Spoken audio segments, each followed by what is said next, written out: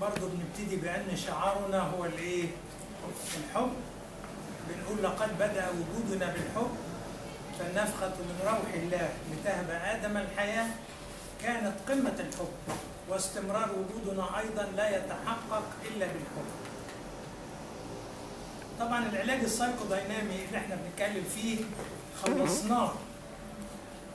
لكن في حالة مرضية كنا بنعرضها كل مرة. وأفكركم بيها إن ده شاب 29 سنة متخرج من الجامعة وبيشتغل محاسب بيكتب أشعار وراجل رومانسي في يوم من الأيام رجع بدري عن عن ميعاد عودته من العمل وملوش نفس للأكل ودخل نام قام من النوم فاقد الإيه؟ فاقد البصر يعني أصيب بالإيه؟ اتعرضوه على أطباء عيون قالوا مفيش خلل في عينيه عينيه سليمة. ولكن نصح بعرضه على أخصائي طب مخ وأعصاب عشان يشوفوا أعصاب العين أخبارها إيه. اتعمل له أشعات على المخ ورسم مخ ما لقوش حاجة. فقالوا لهم إن ده يتعرض على طبيب نفسي. لكن ده زي ما أنتم عارفين الوصمة بتاعت المرض النفسي في المجتمع بتاعنا وفي مجتمعات كتير على فكرة خافوا إنه يتقال على ابنهم إنه إيه؟ مجنون. فقالوا لأ ده قضاء وقدر وبس هو عين مصابته وراحوا للرؤية الشرعية والمعالجات الشعبية. وطبعا المعالجين الشعبيين ما بيصدقوا يلقطوا إيه؟ حق عيان ويقعدوا يقولوا الدكاتره النفسيين نصابين ما تروح لهمش ده بيبتزوك وياخدوا فلوسك. إنما هنا أنا بعالجك بالقرآن بلاش مجانا. ها؟ وطبعا بيضيع عليه فرصة شفاء ويشتغل عليه معالجات غريبة. وبعدين بعضهم بقى إيه يروح مديله عسل ويقول له العسل ده عسل جبلي ومخصوص وجاي من مش عارف من دولة إيه? وطبعا حبة العسل اللي ياخدهم دول بس هتاخد نحسة كل يوم. وطبعا البرطمان ده ب 5000 جنيه. ها؟ وطبعا هتاخد مش عارف إيه وده مش موجود اللي عند مين؟ عنده هو بس في الصيدلية الخاصة بتاعته. فطبعا بينصبوا على على المرضى بشكل سيء جدا وحتى لما بينصبش عليهم ماديا بينصب عليهم اخلاقيا. فعشان كده وطبعا ما عندهمش أي إطار أخلاقي للممارسة المهنية ولو هم مؤهلين ليها. لكن بيعكوا وإيه وهم بيتسلوا وبيعملوا لنفسهم شعبية. وبعدين لسه كان عندي حد واحدة بعالجها وما كانتش بتتكلم واتكلمت واتحسنت وبقت كويسة لكن الضغوط الأسرية ما زالت محبطة.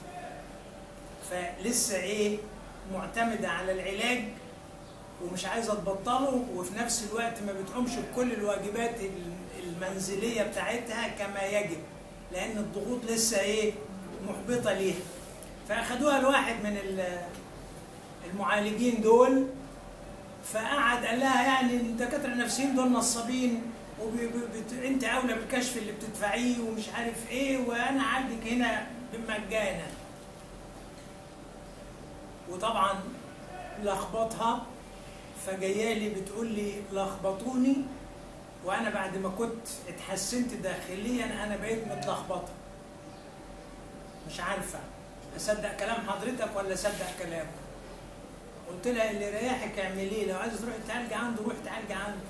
أنا مش ناقص عيانين. لكن لو عايزة تكملي معايا ما تروحيش لحد تاني عشان ما تتلخبطيش. قالت لي هم اللي ضغطوا عليا وودوني للإيه؟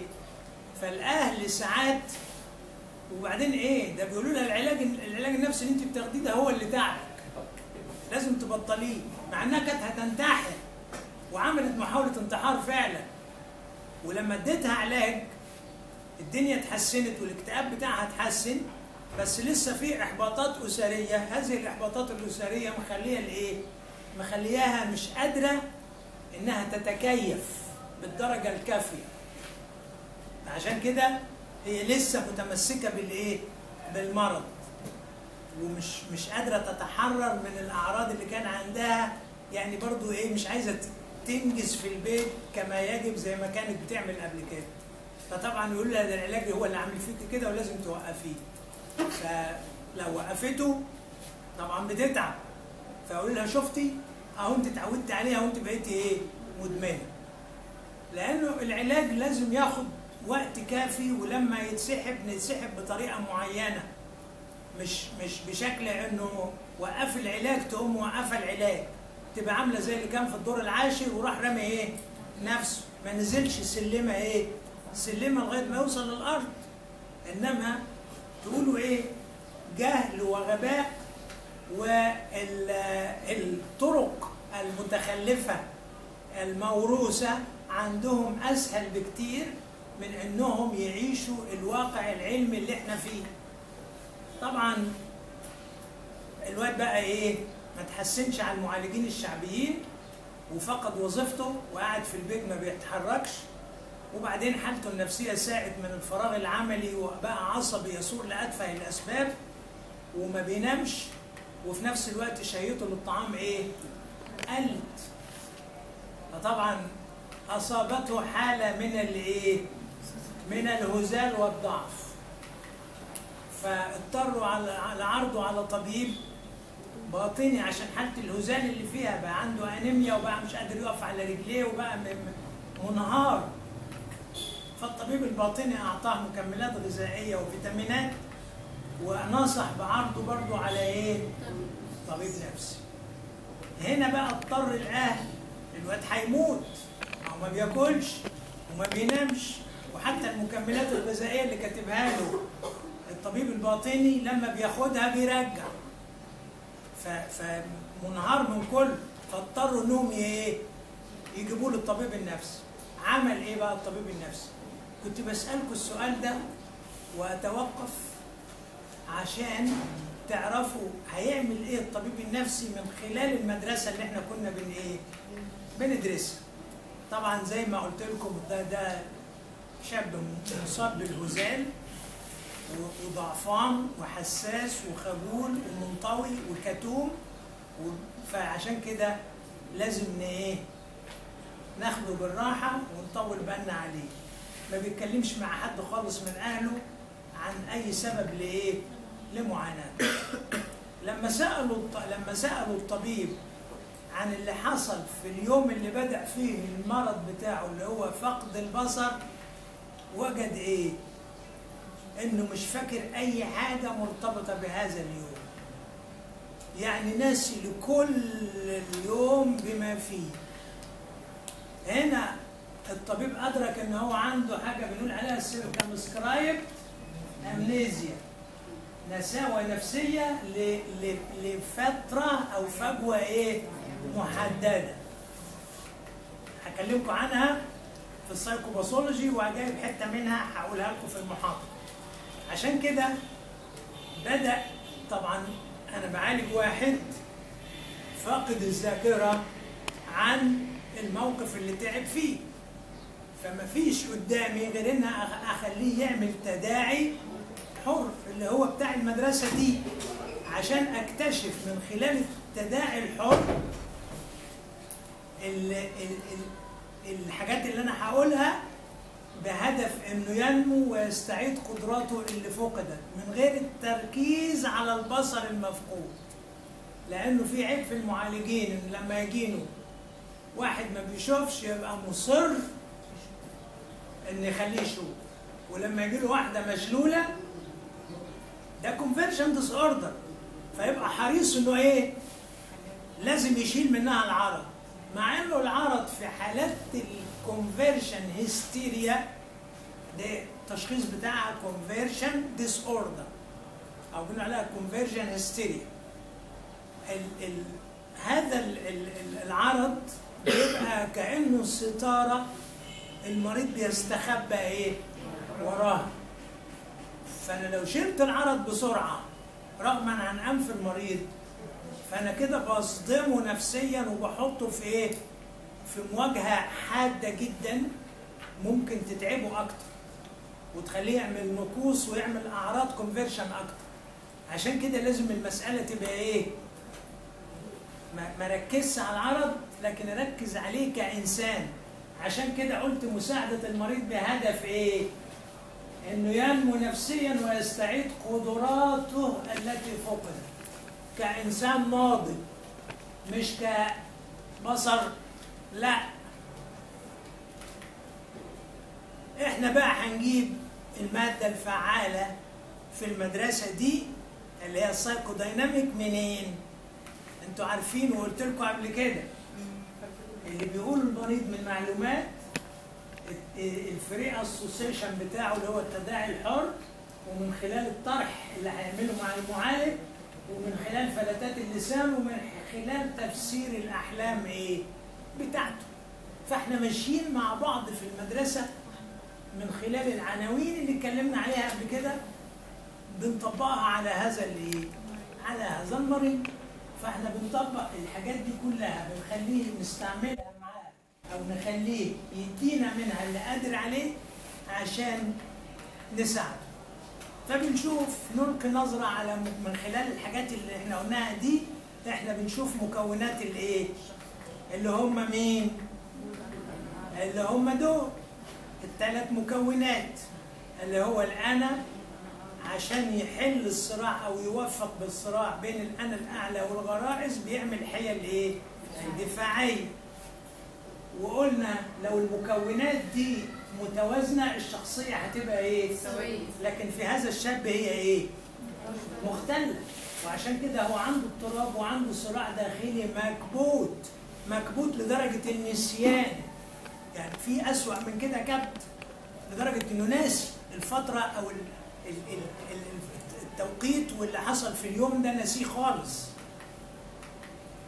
طبعا إحنا عندنا آدي الأنا ومزنوق بين الإيه؟ الثلاث حاجات مطالب الهوى مطالب الأنا الأعلى ومطالب الإيه؟ الواقع. فهنا ال الوا الواقع اللي هنا ده. هل الشاب ده قدر إنه يوفي بمتطلبات الواقع ولا عجز عن متطلبات الواقع لما انعزل وما بقاش يروح الشغل و و و والحاجات اللي إحنا قلناها؟ فإذا هو إيه؟ عجز عن متطلبات الواقع. لكن هل متطلبات الهوى ومتطلبات الأنا الأعلى الأنا ده قادر يوفيها أو يتعامل معاها ده اللي هنشوف. إحنا قلنا إن إحنا عندنا صراع بين رغبتين والصراع ده لما يبقى شعوري مفيش إيه؟ مفيش مشكلة منه. لكن المشكلة لما يبقى الصراع إيه؟ لا شعوري. والصراع اللا شعوري ده بيحصل له إيه؟ إنه يتكبت. لأنه غير الرغبة غير مقبولة وغير مقبول إنها تمارس أو إنه يعملها من خلال الواقع ومن خلال حكم الأنا اللي هو الإيجو على الأمور فيبتدي يبحث لها عن إيه؟ فالمخرج يبقى الأعراض المرضية اللي هي بتبقى واخدة شكل حيل إيه؟ دفاعي طب ده ده اللي حاصل في مكونات الإيه؟ النفس انه إنه الانا الأعلى مش قابل والغرائز عايزة والأنا محتار فبيدي أعراض مرضية عشان يهرب من الإيه؟ من مواجهة الصراع. الغرائز الأساسية أنتوا عارفين اللي هم الإيروس والساناتوس ودول موجودين عند الشاب ده ولا مش موجودين؟ بس إحنا هنكتشفهم ونشوف بيبانوا في إيه. ها؟ وهو ده طبعا مش هنقول على التفاصيل لأنه التفاصيل كتير لكن برضه بنتساءل المكون المبدع من شخصية الولد ده أو الشاب ده إيه؟ اللي هو لأنه ده راجل إيه؟ شاعر وفنان فالهو عنده في إيه؟ في في مساحة واسعة جدا وبالتالي اللا شعور عنده بيغلب على الإيه؟ على الشعور عشان كده الصدمة أو ال- اللي حصل له في هذا اليوم افقدوا الإيه؟ ونزلوا إلى إيه؟ اللا شعور. دور مراحل النمو في في حدوث المرض عند الشاب ده إيه؟ هنشوف مراحل النمو مع بعض. هم إيه مراحل النمو؟ آه مش هم دول الخمس مراحل بتوع ال psychodynamic طيب نشوف الفمية الفمية التثبيت بيرجع فيها يا إما الإشباع جامد يا إما لحرمان جامد وبيبقى الشك في مقابل السذاجة. السذاجة للي يشبع جامد والشك للي إيه؟ للي يتحرم من الإشباع. التفاؤل والتشاؤم. التفاؤل للي يشبع جامد والتشاؤم لإيه؟ آه وهكذا. كل التقابلات اللي إحنا اتكلمنا عليها في المرحلة الفمية. فهنا الشاب ده كان متفائل وهو بيكتب شعر ومستمتع بهواياته وناجح في شغله ولا ما كانش؟ كان متفائل. الدفاعات بتاعت المرحلة الفمية اللي ممكن تكون عند الشاب ده إيه؟ يعني المرحلة الفمية بيبقى فيه ميل للاعتماد على دفاعات أكثر بدائية بتهدد الأنا وبيعمل إنكار، الإنكار شايفين الإنكار بإيه؟ ها؟ بينبع من الاضطرار بعد الإحباط إلى غلق الإيه؟ ليه؟ حيلة دفاعية ك- كطريقة لحفل لح- لقفل الاحتياجات غير الايه؟ غير المشبعة. الجملة دي شايفينها كويس قوي؟ ماشية مع إيه؟ ماشية مع العامة ولا مش ماشية معاه؟ ماشية مع العامة. ادي إيه؟ حيلة دفاعية عندنا. وعلى المستوى المعرفي الحيلة دي برضه اللي هي الإنكار تشمل إغلاق اهتمامات الشخص بالنواحي المهددة من العالم. يعني إذا كان مشكلة مع مديره في الشغل يبقى هيقفلها وهيقفل عينيه عشان ما يشوفهاش وهينسحب. مش كده؟ لأنه بيغلق اهتماماته مع الحاجات اللي بتهدده. الإسقاط لأ طبعا. الاستدماج لأ. طيب نيجي بقى للصفات بتاع التثبيت الشرجي. هل الشاب ده ممكن يبقى عنده تثبيت شرجي؟ لأ. هل ممكن يبقى عنده دفاعات للمرحلة الشرجية؟ برضو لا. طب نيجي للمرحلة القضيبية. المرحلة القضيبية فيها إيه؟ المثلث الأوديبي. فهل ال- الشاب ده بيعيش صدمة أوديبية؟ هل هو بيعيش صدمة أوديبية أو بيعيش صراع أوديبي؟ هنشوف. الصفات بتاعته ذات التثبيت ال- بتاع المرحلة القضيبية الشاب ده كان إيه؟ شاعر؟ يعني إيه؟ عنده زهو مش كده؟ عنده زهو بإنه إيه؟ يلقي من الكلمات ما يلفت اهتمام وإعجاب الإيه؟ الآخرين. فعنده خيلاء وزهو. وفي نفس الوقت الأهل بيقولوا إنه كان مهتم بمظهره جدا وشيك دايما في لبسه. فدي صفات ماشية مع الإيه؟ مع التثبيت القضيبي. وفي نفس الوقت كانت علاقته بالجنس الآخر إيه؟ سألنا الاهل فقالوا إيه؟ لا كان منفتح على الجنس الآخر وعادي خالص طبيعي. كان منفتح على الآخرين في مقابل كان كده. يعني إذا شخصيته كانت فيها الصفات القضيبية اللي إحنا بنتكلم عنها اللي هي صفات الشخصية ذات التثبيت الايه؟ القضيبي. لكن لغاية دلوقتي إحنا ما عرفناش الإيه؟ المشكلة. الحيل الدفاعية بقى في المرحلة القضيبيه. مارس الكبت مارس الكبت لأنه النسيان ده جاي من إيه؟ الكبت دفع ال- ال- ال- المنطقة كلها هدفها في اللاشعور فنسيها فبقى هنا الإيه؟ الكبت فالمواقف الأفكار ال- كله دفعه إلى دايرة الإيه؟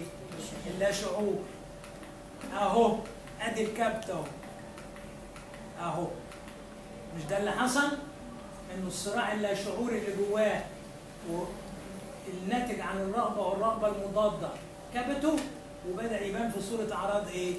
مرضيه اللي هو العرض الشديد اللي عنده بحيث تستبعد الإيه؟ وما يرتبط بها من مشاعر وجدانيه ويتجنب الإيه؟ الشعور بالقلق مش كده؟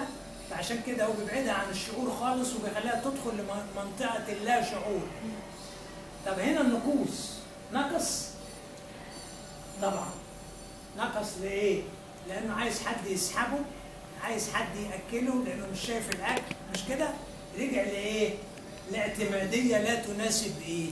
سن فعمل نقوص طيب وده كان عقد ضغوط ولا مش عقد ضغوط؟ غالبا هيبقى فيه إيه؟ ضغوط ده توقعنا إحنا كإيه؟ كمعالجين طبعا displacement هو حول الصراع النفسي إلى عرض إيه؟ جسماني مش أي عرض. ده عرض ضخم جدا فقد الرؤية. يعني معناها إنه كأنه بيقول للعالم أنا مش عايز اشوفه العالم كله أنا مش عايز يشوفه. فهنا بي- بيبقى النقل هنا هو نوع من توجيه انفعالاته إلى ما يرغبه وإلى ما يهرب به إلى اللاشعور. مرحلة الكمون هل هو عمل نقوص لمرحلة الكمون؟ ده مرحلة الكمون دي بتتسم بإيه؟ بالمثابرة والإيه؟ والتسامي. فما رجعش للكمون. هو مشكلته كلها لغاية دلوقتي في الفمية والقضيبية. طب هو عمل نكوص بقى. النكوص إلى مراحل طفلية. بيعجز فيها عن التعامل مع الواقع. والانسحاب من الواقع. الفميه غلق العينين بفقد الايه؟ الشرجيه التكوين العكسي بالزهد. ها؟ التكوين العكسي دي تبع الايه؟ تبع الشرجيه لأنه زهد الدنيا وما بقاش ياكل. فهنا فقد الشهية بيخلينا نقول إن في الشرجيه مع إن إحنا قلنا الشرجيه ما فيهاش لكن لا بتظهر نفسها إيه؟ في التكوين العكسي بالزهد اللي هو إيه؟ ظهر عليه في إنه مش عايز ياكل زهد الأكل. بعد ما كان بيعشق حاجات كتير في بيحبها في الأكل ما بقاش القضيبيه الكبت والنقوص والتحويل ثلاث إيه؟ ثلاث حيل دفاعية. يعني الواد عنده كل دول نقوص. ها؟ ده معنى كده إنه محتاج علاج نفسي إيه؟ آه. تفسير الأحلام. للأسف ما بيجيبش إيه؟ أحلام. زي كتير منكم وكتير من الناس ما بيفتكروش الايه الاحلام بتوعهم ولا بيهتموا بيها أو بيقول هي دوشة كده وخلاص مش مش واضحة? وخاصة إن ده أصلا ناسي الايه فحتى لو حلم بيها هيصبح إيه؟ نسيها لأنه unconsciously هو بيرفض إنه إيه؟ يفتكرها. بالظبط كده. الطرح مع مين؟ مع المعالج. فالعلاقة اللي هتنشأ دي بتبقى علاقة وجدانية والعلاقة موجبة. فهو متعاون مع الإيه؟ دون تدخل من الإيه؟ من المعالج. يعني هو بيطرح في العلاقة من غير ما أقول له ارتاح ليا ولا ما ترتاحليش? لكن العلاقة إيه؟ موجبة. بتبدأ إحنا بقى بنبدأ في تقوية مين؟ الأنا فبنسمعه وهو بيعمل free association وبنعمل تدعيم للإيجو. عشان نخلي الإيجو إيه؟ يتخلى عن الضعف ويبتدي إيه؟ يعي أكتر. وكل ما يعي أكتر كل ما يحس بقوته أكتر. وأنه مش ذنب الإيجو إنه ضعيف لكن ذنب إيه؟ المطالب المفروضة عليه من الهوى والأنا الأعلى والواقع. عشان كده إحنا. بنشجعه انه يتعاون معانا عشان الأنا بتاعه يبقى أحسن. فيقوم آه، الطرح إيه؟ يزيد لأنه بيلاقي فيه مصلحته. الطرح المقابل بقى من المعالج. ما إحنا عارفين الطرح يا إما طبيعي في حدود السواء يا إما رد فعل يجاوز السواء ويستجيب تفاعليا مع المريض وده اللي عملته ال- ال- المدام اللي مشيت دي عملت إيه؟ رد فعل يجاوز السواء الس- يجاوز السواء وإيه؟ ويستجيب تفاعليا مع المريض وده رد فعل مش صح وفي نفس الوقت يعتبر هو موقف عصابي لأنها تسقط على المريضة ما عندها من رغبات هي إيه؟ مرضية فهي محتاجة حد يبقى كأنه قطة كده بتهتم بيه فبتسقط احتياجها ده على المريضة وتبتدي تقول لها تعالي في حضني أمك مش نافعة أنا اللي إيه؟ أنا اللي ولا المعالج بتاعك نافع أنا اللي إيه؟ أنا اللي هنفعك أنا اللي هصحيك عشان ما تعمليش على روحك وأنا اللي وأنا اللي وأنا اللي. فبقت إيه؟ اعتمادية عليه فطبعا ده طرح مقابل غير إيه؟ غير سوي اللي هي عملته. لكن هنا المعالج الطرح بتاعه المقابل في حدود الإيه؟ السواء المعالجة السايكودينامية بقى جينا لإيه؟ لمربط الفرس. إحنا عملنا إيه بقى مع المريض ده؟ إعادة بناء الأنا. آه تحرير الأنا من القيود بتاعته. آه عشان يبتدي ما يحسش إن كل حاجة ممنوعة وكل حاجة ما, ما يقدرش يعملها والكبت يزيد. ده إحنا بنفك له الإيه؟ الكبت. وبنشجعه إنه يعبر عن إيه؟ عن نفسه. وإنه كل اللي جواك مقبول لأن أنت إنسان وتقدر تعبر عن نفسك بالشكل اللي أنت عايزه فيبتدي يستعيد سيطرته على الهوى بالثقة اللي هنديها له في الانا فيبتدي السيطرة ديت هو افتقدها من جراء الكبت وإحنا بنفك له الإيه؟ الكبت وبنساعده إنه يعبر عن نفسه. فبنبحث عن الإيه؟ مكبوتات وبنشجعه على إنه يصححها وإنه يحل مشكلاته بصورة واقعية أفضل من إنه يهرب. فإحنا لازم نبقى عارفين إنه استجاباتنا المرضية للبيئة من حوالينا بتنبع من إيه؟ من اللا شعور وعشان كده العمليات البدائية اللي اللي بتحصل كتصرفات من الأنا والخيالات وأحلام اليقظة والحاجات دي كلها بتبقى نابعة من الايه؟ من اللا شعور فعشان كده إحنا بنخليه يتجنبها ويبتدي يتعامل مع الايه؟ مع الواقع بنربطه بالواقع ال- لإزالة الأعراض بقى لازم المريض يبقى واعي بالمقاومة إنه الأعراض هتستمر لكن لما تبقى المقاومة مقاومة واعية زي اللي كانت بتعملها آية لا بقى ده انت بتلعبي بالإيه؟ بالمعالج وبتلعبي بأهلك لأن لو بتقولي لو ما خفتش يبقى ما حدش هيهتم بيا الله يبقى إذا أنت مشكلتك كلها في إيه؟ في الاهتمام بس أنت عايزة الاهتمام بشكل صحي ولا بشكل مرضي؟ هو فيه اهتمام بشكل صحي إنها تبقى متميزة دراسيا يقوموا أهلها يعجبوا بيها مش كده؟ ويشجعوها ويدوها مكافآت وتكرم في المدرسة مش كده؟ فده اهتمام اهتمام بس اهتمام صحي إنما الاهتمام المرضي إنها إيه؟ تعمل على روحها عشان تاخد إيه؟ اهتمام فهل نساعدها في كده؟ ولا نرفض ده وخاصة إنها بتعمله على مستوى إيه؟ الله ده الجملة ده الجملة دي أنا وقفت عندها وقلت لها قوليها تاني وخليتها إيه؟ كتبتها ده ليه؟ كتبتها وهي بتقولها ليه؟ عشان أوريها هي بتعمل إيه لأنه هنا هي بتتصرف بشكل طفل عايزة اهتمام وفي نفس الوقت اهتمام واعي يعني هي بتتبول عن عمد ها وبعدين التانية دي بت إيه؟ بتساعدها في الاعتمادية وبتساعدها في النكوص وبتساعدها في إنها تبقى إيه؟ يعني تلعبها في حكاية التبول. ما تتبولي ولا تتفلي إذا كنت عايزة تستني بيبي استني بيبي لكن ده له تمن إنما هي لا. أنا هصحيها الساعة 3 عشان ما تعملش على إيه؟ على روحها. يعني كده اعتمادية واعتمادية زائدة. يعني هي أسوأ من أهلها طبعا لو في مقاومة المقاومة بتبقى شكل لا إرادي إنما دي مش مقاومة دي زي ما بنقول كده في التشخيص بنسمي ده فاكتشرز يا فريد مش كده؟ يعني هي بتستحدث أعراض مرضية عشان تاخد إيه؟ تاخد اهتمام وبتستحدثها بإيه؟ بوعي فطبعا لما المريض يبقى واعي بالمقاومة وبالأعراض اللي بتحصل الاثنين هم أصلا اللي بيعملوا الإيه؟ المرض لأنه الأعراض والمقاومة المقاومة دي بيعملها الانا فلما الانا بيعمل المقاومة ديت بيعملها بدفاعات والدفاعات دي ممكن تبقى دفاعات إيه؟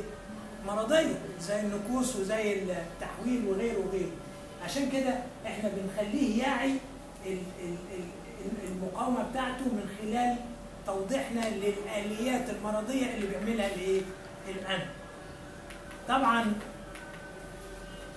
لازم نتعرف تدريجيا على النزعات على إنه إحنا بنقول له كده نزعاتنا ما هياش خطيرة قوي واللي جواك ما هواش خطير لدرجة إنك تكبته وتخاف تطلعه قول اللي جواك كله ها ما تخافش أي حاجة تقولها إحنا بنقبلها وما بنرفضهاش إحنا مش زي العالم الواقعي اللي بره بنعاقب وبنصدر احكام.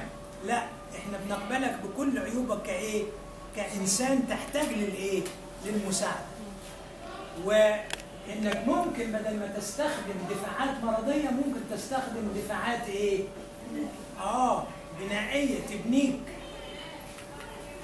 وبنسمح بالتعبير عشان تبقى أكثر إيه؟ نضج. والنزعات بتاعتك تبقى أكثر نضج. طبعا بيتم زيادة الوعي زي ما قلنا بأنه بنستخدم أربع أساليب. المواجهة. المواجهة أنا عملتها كم مرة النهارده؟ كتير جدا. لأن في فضايح بتتعمل من الاثنين اللي كانوا هنا النهارده.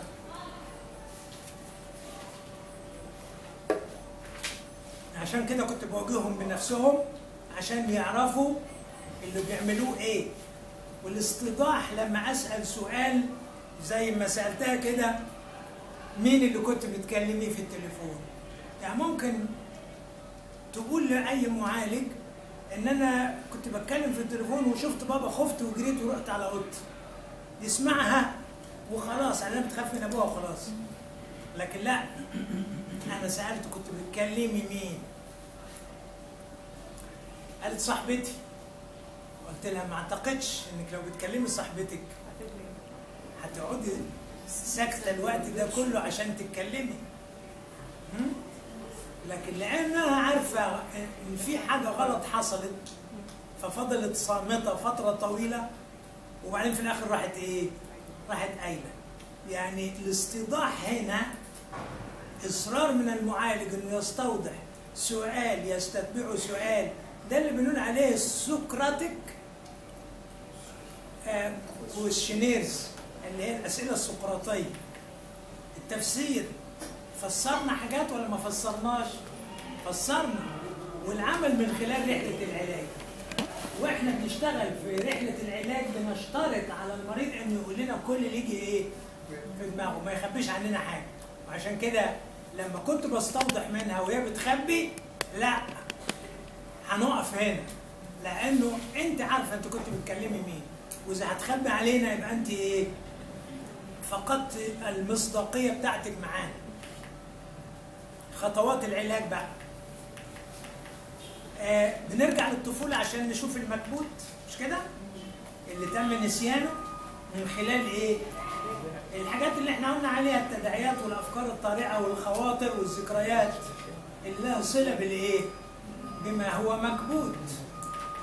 وبعدين ما بندفعش المريض إنه يتكلم عن الموضوعات اللي إيه ليه نستنى لغاية ما هو إيه اللي يفتحها عشان ما يبقاش فيه وراها فكانت الخبرة الايه لما هو بدأ يتكلم عنها لوحده بدأت الخبرة الصادمة تحصل من خلال التداعي.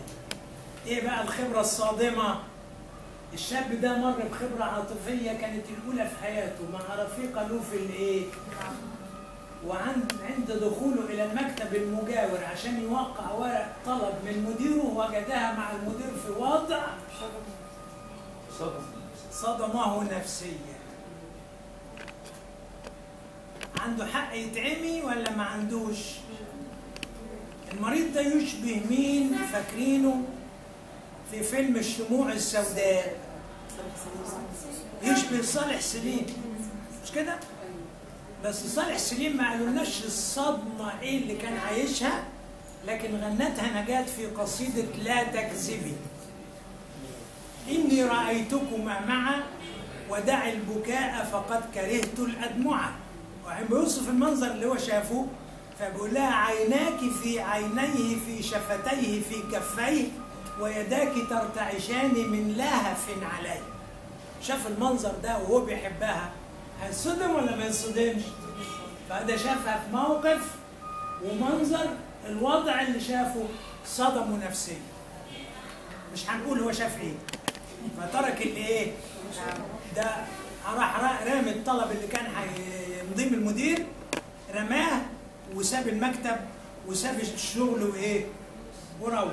من غير ما إيه ما يتكلم وحصل إيه بقى؟ حصل النسيان. لكل الموقف. من أول علاقته بالبنت وارتباطه عاطفيا بيها لغاية اللي حصل مع المدير لغاية ما إيه؟ ما رمى بالطلب وخرج من الإيه؟ المكتب ورجع البيت. الفترة دي كلها إيه؟ منسية. ظهرت الدفاعات المرضية بقى في صورة العمى كنوع من تحويل الصراع النفسي إلى إيه؟ اللي هو ال conversion disorder يا فريد. ها؟ أهو دي اسمها defensive amnesia يعني نسيان دفاعي. ها؟ defensive amnesia ودي إنه ممكن ينسى الأسامي. ممكن ينسى هو جاي منين ولا كان فين. ممكن ينسى واحدة تنسى جوزها وتنسى إنها متجوزة وتنسى أولادها. آه يعني ممكن ينسى تفاصيل كتيرة جدا مهمة في حياته وممكن ينسى هويته كمان. فده الديفنسيف أمنيزيا. طبعا هو حصل هنا نسيان ليه؟ لأنه الحاجات اللي شافها حاجات صدمته.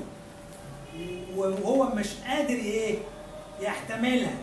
اهي اللي هي intense intolerable life situation يعني موقف حيوي حياتي شافه لا يستطيع انه إيه يتحمله. عشان كده حصل الايه؟ حصل النسيان. وبقى عنده conflict شديد جدا تجاه اللي بيحصل. وإحنا فاكرين لما كنا بنتكلم عن مكونات الأنا وقلنا يا conflict يا اضطراب أو هنا ال conflict والاضطراب الاثنين. طبعا الكبت ممكن الكبت في حالات النسيان دي ممكن يستمر أسابيع أو شهور أو سنين. و و ولما ال amnesia تختفي يبتدي الإيه؟ المريض يفتكر كل الإيه؟ التفاصيل. بس عشان ده يحصل بيحتاج علاقة آمنة confident ما فيهاش انتقاد ما فيهاش super ego شديد وفيها قبول لكل النزعات اللي كانت إيه جواه. وده مين اللي هيقدمه غير معالج ناضج متفاهم خبير. فطبعا استعاد كل الذكريات المرتبطة بالموقف وطبعا آه ده زي ما قلنا amnesic gap أو amnesic period وأهي. amnesic gap اللي هي إحنا بنسميها circumscribed إيه amnesia اللي هي نسيان لإيه؟ لفترة معينة أو محددة. هنجيبها تاني. آدي الصراع اللا شعوري أهو. والأعراض المرضية.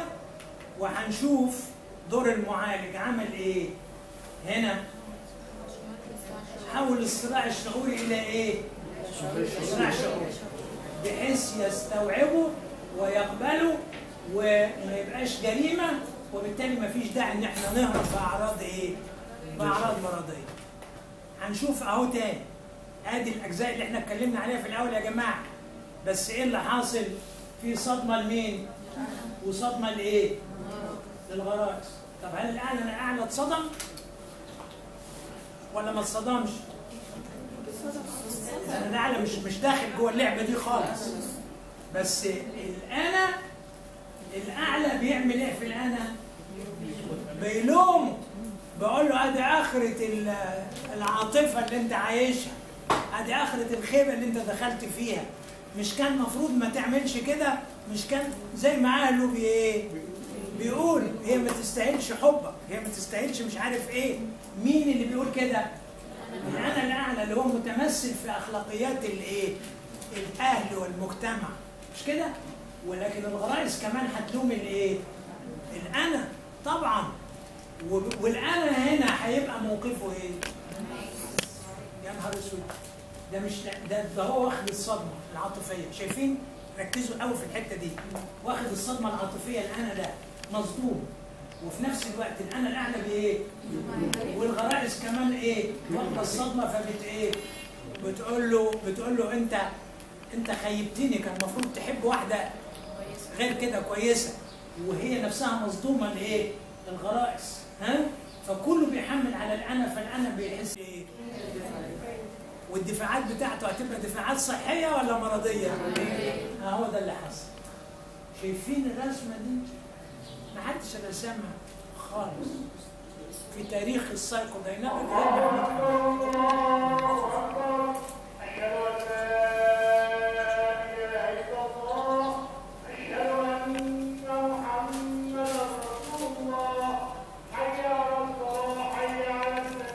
كده تشريح للي بيحصل في مواقف الايه؟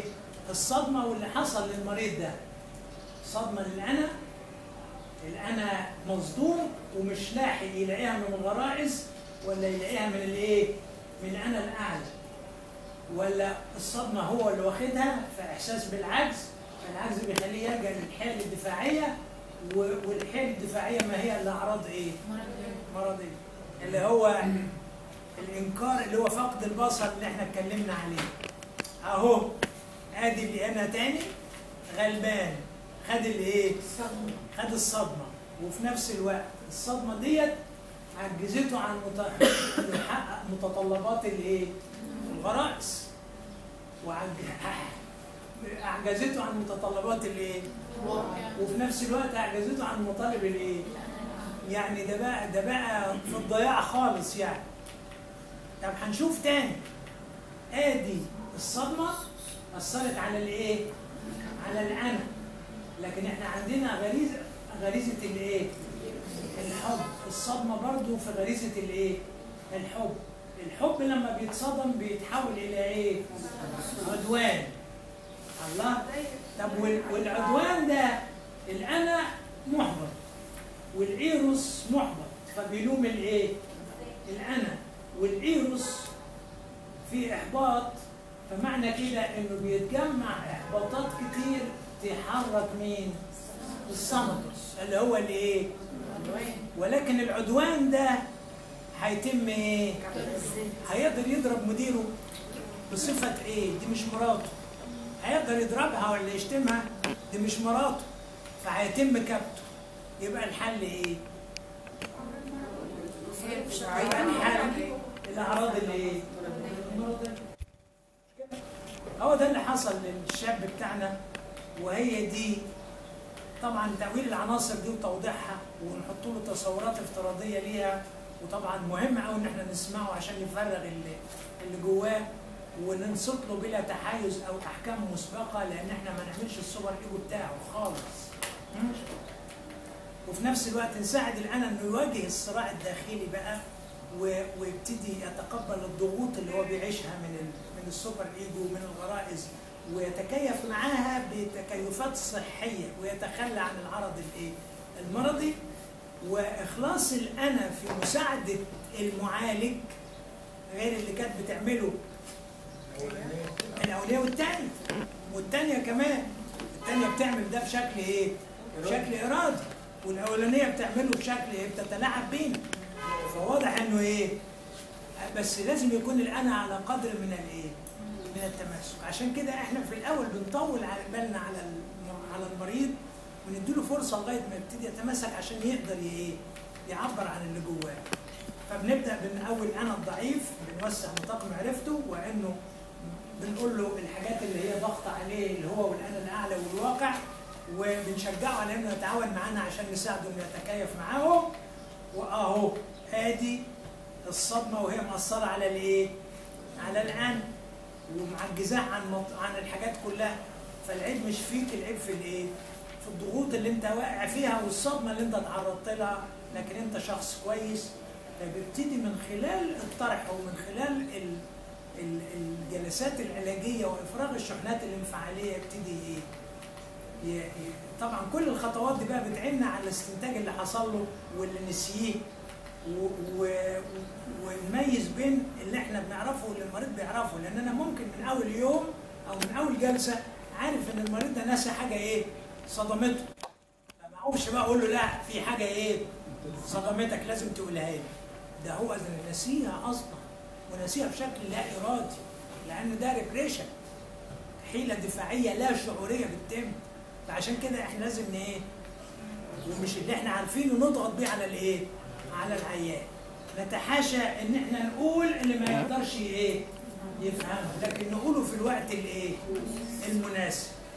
فالتفسير لو بقى في وقت غير مناسب مش هيبقى له أي تأثير. أو يخلي المريض ينفجر في إيه؟ في مقاومة. لكن لما يبقى في توقيت مناسب المريض ممكن يفتكر الخبرة اللي إيه؟ اللي نسيها? وده اللي حصل في أحد المواقف في أحد الجلسات إنه افتكر. طبعا كل ما كان اللي إحنا بنستنتجه مظبوط المريض بي إيه؟ بيقول صح يا دكتور. وبنحدد توقيت التفسير إيه اللي بيحدده. طبعا الحس المرهف بتاع المعالج ونضج المعالج وخبرة الإيه؟ المعالج. دول اللي بيحددوا توقيت التفسير. يتقال في الوقت المناسب ويتقال إزاي وإذا شجعت المريض إنه يقوله وأساعده في إنه ينطقه هو يا سلام يبقى يعني منتهى النضج اللي أنا حققته للمريض. الصورة ديت من هونج كونج. زي ما أنتم شايفين هونج كونج دي عبارة عن مجموعة جزر والجزر دي عليها جبال عشان ما تغرقش في المية طبعا. لانها لو ما عليهاش جبال الميه هت إيه؟ هتغرقها فهي مجموعة جزر عبارة عن جبال فعشان كده المباني زي ما أنتم شايفين على الإيه؟ على الجبال والمنطقة اللي ما هياش فيها جبال مناطق صغيرة جدا وعشان كده أغلى أسعار لمتر الأرض في العالم كله في الإيه؟ في الجزر دي. ها؟ العمارات شايفين مبنية إزاي؟ ومبنيه على الجبل وطبعا بيتعرضوا لزلازل شديدة جدا فالمباني بتاعتهم بطريقة معينة لدرجة إنه واحد من زمان أنا رحت طبعا لما كنت هناك كانت الدنيا كويسة وما كانش فيه أي عواصف لكن واحد زميلنا راح بره بعدها وكان في عواصف والعاصفة هبت بيقول لي أول مرة أشوف البرج عمال إيه يتميل الابراج دي وهي بتتميل بيقول أول مرة أشوف في حياتي برج بيتمايل من الإيه؟ من شدة العاصفة. الأتوبيس كان بي بي بي بي بي ال- العاصفة بتحدفه إيه؟ بعيد يعني رجعوا للفندق بمعجزة. بس بقى وهو في الفندق يبص على ال- الأبراج يلاقي الأبراج عمالة إيه؟ تتراقص من كتر فإلى هذا إلى هذا الحد إحنا في نعمة ربنا مدينا أرض منبسطة وممتدة وعشان كده إحنا الابراج عندنا ملهاش لازمة لكن الامتداد الافقي عندنا هو الافضل ها؟ لأن إحنا عندنا سعة من الأرض. وكلما توسعنا في في تعمير الأرض بنعمر حاجات ويبقى حواليها مزارع ونوسع الدنيا بدل ما إحنا متكربسين فوق بعضنا في أمطار قليلة إحنا مش زي هونج كونج عشان نتكربس ها؟